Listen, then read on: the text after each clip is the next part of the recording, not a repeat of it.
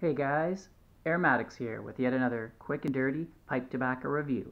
This time we have Russ's Candy Cane Cocoa.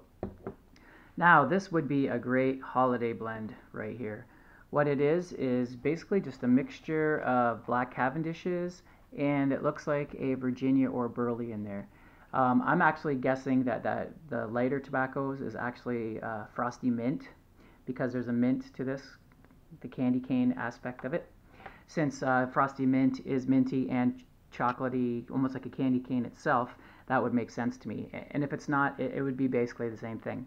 And the Black Cavendish is very cocoa. Like when you smell it, whew, you smell the, the chocolate. Almost, if you're not a fan of chocolate, this would almost probably make you sick. Now, I, I, I know that doesn't sound good for a pipe tobacco, but um, I'm just not a. I like the smell, but sometimes, and I like the taste of chocolate, but sometimes there's certain chocolates that just kind of, I don't know, hard to explain. But uh, either way, uh, when I smoke it, I really enjoy it. Um, it's not complex at all. It, it, it is a cocoa, you know, mint, like slightly minty.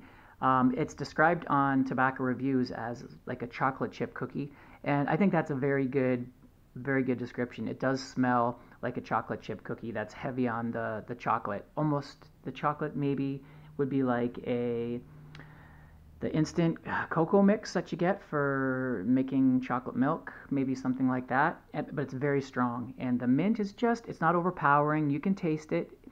Um, I think it's just the right amount of mint, not too much, not too less.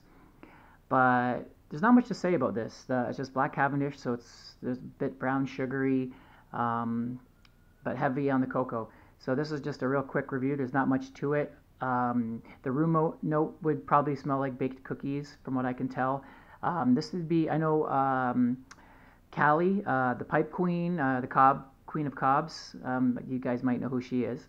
She, uh, I think she likes it. She posted that she liked it online once. So definitely uh, the ladies that like their aromatics would probably like this. Or if you're in the mood for a holiday blend or something different, or you like um, aromatics, you can definitely this tastes like it smells. You can definitely taste the topping. But if you're not a fan of um, fla- you know, flavor-oriented aromatics instead of tobacco-oriented, you know, tobacco-oriented, then you might not like this. But if you do like the idea of a candy cane cocoa flavor tobacco, this way is definitely the way to go. This is definitely a good tobacco if that's what you're looking for.